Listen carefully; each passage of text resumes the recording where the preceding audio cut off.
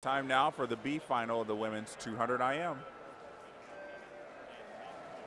In lane one, that's Olivia Fisher from Burkwood Aquatic Club.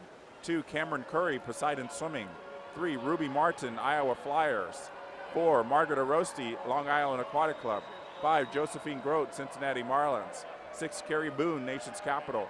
Seven, Alexander Priest, Aqueduct Swim Team. In lane eight, Michaela Herrick, Northern Kentucky Clippers.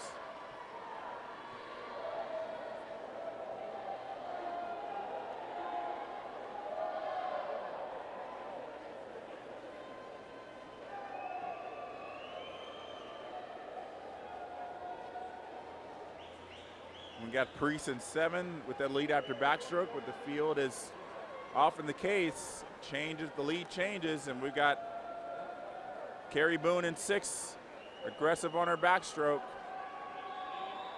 That's the fun thing about watching an individual medley race is all these swimmers have different strengths and weaknesses and how it all plays out against a field of eight is the most exciting thing to see and Boone has the lead 107.30, sorry, 104.89.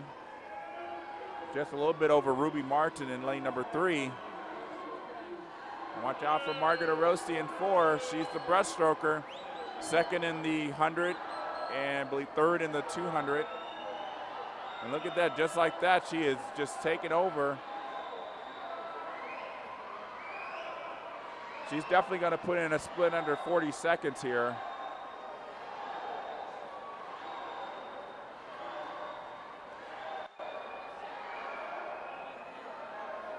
Yeah, it's amazing. 37-45 for Margaret Aroesty.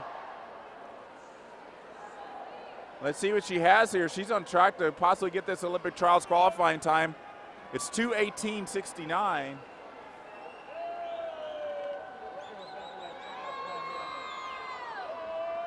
Margaret obviously taking advantage of possibly being a better long course swimmer. She's going to take the win in this B final. 216.48, and she has got her Olympic trials time. She is pumped about it, as well she should be. In second, Josephine Grote, 219.43. And Ruby Martin, 219.82 for third.